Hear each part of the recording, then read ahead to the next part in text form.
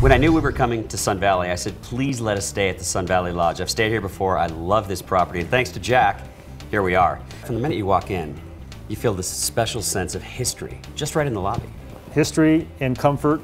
Feel like you're home. I like that. yeah. Sure. Yeah. It's a little bit nicer than my home, though. Very special place. Uh, when Averell Harriman founded Sun Valley, he said it's got to be roughing it in luxury. I love all the old pictures, though. You really feel like yeah. you're back in time when you're here. Sense of history. We're very Total proud of our history. history. Very, very proud of our legacy here and the history of Sun Valley and what it's meant to uh, not only the ski industry but the state of Idaho. And the lodge is a special place. You've got the lodge, you've got the inn, which is just a small part of the whole Sun Valley Resort. But let's talk about the lodge and the inn and the different rooms that are available and some of the more famous people that have stayed here. Uh, we right now have 148 rooms in the lodge. There's a standard room, a medium room, a king room, there's suites. In the inn, there's actually four three-bedroom apartments also. So we've got a variety of accommodations here at the Sun Valley Resort. Tell us about room 206. 206 is famous for a, a reason, because it's called the Hemingway Suite. And uh, Ernest Hemingway spent a lot of time there, and he finished writing For Whom the Bell Tolls there.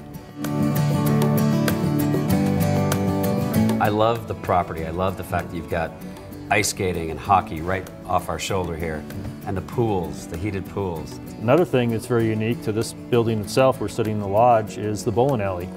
Built in 1936, a six-lane bowling alley. We keep that history there. It's a great family spot for the evenings. It's a cool spot. Yeah, I like it. And, but the whole resort is more than just the lodge or the inn. There's 2,600 acres here. We've got a lot to do here. And it's, it's made for all people that are round. active all year round. Uh, in the winter, of course, we have two different ski mountains. Dollar is uh, where the first chairlift in the world was. Then in 1939, we looked across the valley at this big mountain over there called Baldy and decided to put some lifts up there. So with the leftover, where the pile of timbers were, they built Roundhouse. And that was our first warming hut on the mountain. And it's still a great place to have lunch and even dinner. A lot of history there, it's great, four-sided fireplace, wonderful views of the valley.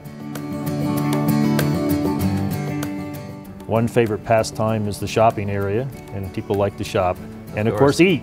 Oh, the, the great restaurants. facilities on the mountain are just incredible. The, the nicest lodges, yeah. the ski lodges I think I've ever seen. Yeah. Everybody loves something free.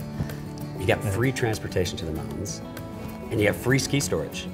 Absolutely. That's unique. Absolutely. For all the guests of the Sun Valley Resort, it's also free. We pick them up at the airport, the Sun Valley Airport, 13 miles away. Well, how about yeah. that? I want to talk a little bit about the ice skating rink yeah. because that's year round. That's one of what, two in the world? That are uncovered and open year round. Yeah, that it's pretty great. special. And you have lots it's, of great shows during the summertime. Yeah, it's really amazing to it be 85 degrees and people are out there ice skating in their shorts and their t-shirts. But a real special occasion in the summer is when we have our ice shows. We've been having them for 74 years now. And the greatest Olympic and world champions have been here skating.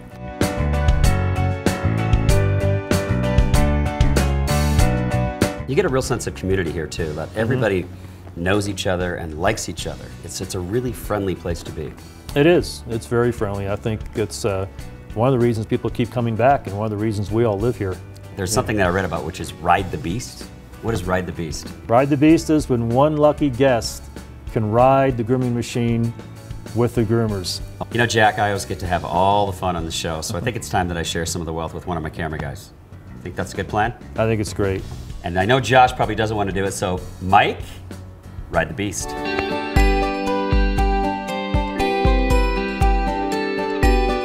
My name is Jim Weand, and I've been grooming here for 31 seasons. Now my left hand here, there are two sticks, that's my steering, there's one for each track and then everything else is on this joystick in my right hand.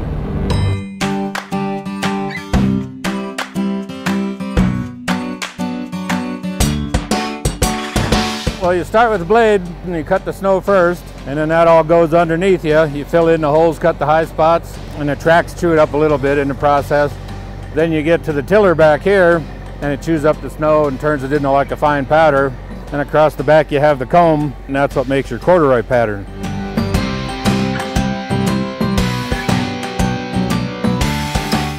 I like running these snowcats. I just think they're impressive machines. One of my favorite parts, I think, are the sunsets I get to see.